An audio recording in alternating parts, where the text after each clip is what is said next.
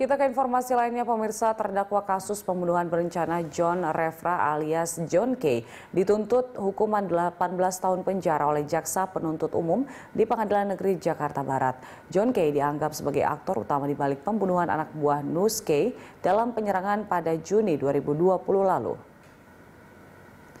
John K. bersama dengan enam terdakwa lainnya mengikuti persidangan secara virtual dan hanya kuasa hukum terdakwa yang hadir di ruang persidangan di Pengadilan Negeri Jakarta Barat. Jaksa penuntut umum menuntut hukuman penjara 18 tahun kepada terdakwa John K. karena dianggap menjadi aktor perencana di balik penyerangan terhadap kelompok Nus K yang menyebabkan seorang korban tewas pada Juni 2020 lalu. Hal-hal memberatkan terdakwa antara lain pernah dihukum masih dalam masa pembebasan bersyarat dan tidak mengakui perbuatannya.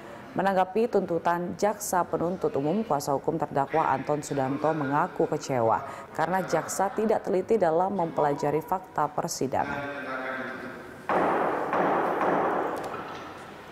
Prihatin atas tuntutannya, apalagi seorang Junke, seorang yang memberi kepada seorang lawyer untuk menagih dikenakan 18 tahun jaksa hampir semua tidak pernah uh, menggunakan fakta persidangan, jadi ambil fakta persidangan. Jadi hanya sebagai ilusi dan ingin benar-benar ingin menghukum seberat-beratnya uh, delapan terdakwa, eh, tujuh terdakwa ini. Ini ingin menghukum seberat-beratnya bukan men mencari keadilan atau membuka keadilan. Itu yang kami sesali. Tapi kami tetap istiqomah, kami akan melakukan pledoi, pembelaan, tahapan sebelum putusan. Kami masih percaya bahwa di sini ada ada